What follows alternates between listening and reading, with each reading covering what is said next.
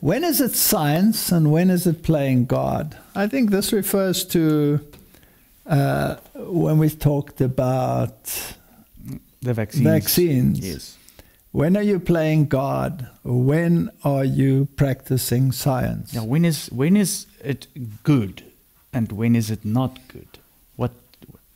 Now, I was a scientist myself. I also was involved in experimentation. I was part of the ethics committees of the universities where we had to discuss and evaluate the ethics of any scientific experiment that is undertaken. Now, when is it science and when is it playing God? Is there anything wrong with investigating the way things work in the universe? No. No. That is man's inquiring mind, and God gave us inquiring minds, and we want to know. The Bible tells us that Solomon, the wisest man that ever lived, was an expert in zoology, he was an expert in botany, he was an expert in many, many things. So it is part of human nature to study nature. When you start placing yourself above the God of nature, then you are starting to play God. Now, when it comes to the genetic system, this gets a bit complicated. Mm, yes. If you're saying that you can improve the genetic system, then you don't believe that God made it perfect. Mm. And therefore, you will be playing God when you try to do that. Now, let's take a, another situation. What if, through sin and deterioration, uh, genetic aberrations came into the world, which they did, and these genetic aberrations cause disease? Can you repair that if it is within your capability? In other words, can you intervene in the genetics knowing full well that you are altering the blueprints of cells? In my opinion, just my opinion, if you can correct a wrong that has occurred mm. Or something that has become uh, or that has deteriorated. That is science, and you can you can uh, cure diseases this way. If you have gene sequences missing and you replace them with the correct one by placing them into stem cells, etc., etc., and and correcting what went wrong and thereby alleviate suffering. Suffering. That is not playing God. Mm-hmm. That is using what is there. When you start adding genes, in other words, to give capabilities that were originally not planned, and therefore you are altering the blueprint of God, then you are playing God. Yeah.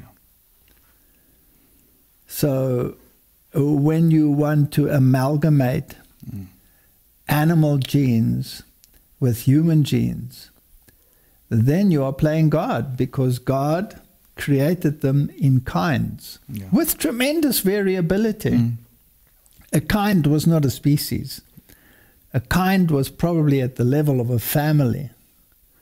So you would have a family, let's say the dog family belongs to the canids, the Gang- yeah. the Canidae, and every one that fits into that family would be the jackal, the fox, the wolf, uh, all the dogs varieties that we have. They would all be of the family Canidae.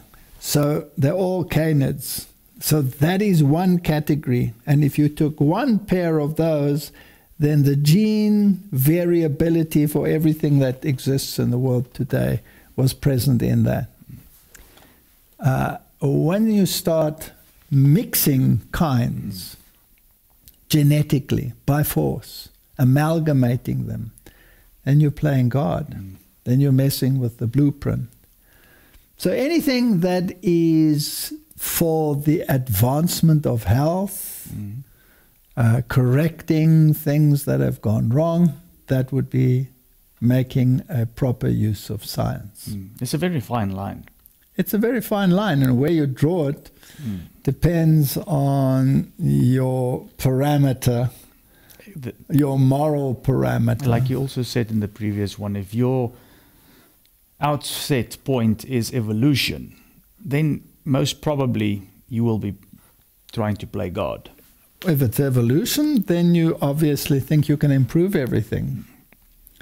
Now, even if you take uh, the manipulation of fruits and vegetables and grains, etc., and we think that we can improve yield and all of these things. Now, if you go back into uh, history, when you go back to, let's say, Egypt, the grain that Yes. was there, how many corns did it have in it? A hundred. Now, today, if you have 50, you are really pushing it. Mm-hmm. You will be overjoyed if you get 50. So, have we improved or have we gone back? Okay, gone back. Yeah, there's been a deterioration. Now, I have no problem with breeding programs to get the very best yield that you can have. But once you start adding genes, then you are changing the physiology. You don't know what the effect of that added gene is. For example, if you add the growth gene uh, to the genetic makeup of something, let's say the growth genes, the, the genes that code for growth hormone in pigs, Mm. And you translocate that into another species, then you will get, or even to the same species, if you double it up, Yeah. you will get giant pigs.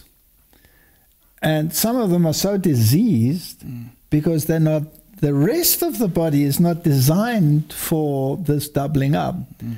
So that you have to keep them alive with antibiotics. They can't even walk. You have to squirt them down with hoses. And you say that is an improvement because you're getting a bigger yield, Mm. but you're getting a very unhealthy yield. Is Yeah. that something that you would like to eat? Something that is exceedingly unhealthy Mm. and has been kept alive with antibiotics and all kinds of things? Yeah. And what, what if you start translocating genes across species? Or maybe even from animal to plant. They've translocated genes from pigs into tomatoes. Mm. Is it then still a tomato? No. It might still look like it, but how is its physiology affected? How is the combination Yeah. uh, affected. So uh, I'm I'm one to f- say let's take the very best genetic systems that we have and propagate those. Mm. And if you can get great yields, then well, then fine. But you don't have to genetically manipulate it in order to get what you have to do. So it's a very fine line, Yeah. and depending on who you talk to, you'll get a different answer.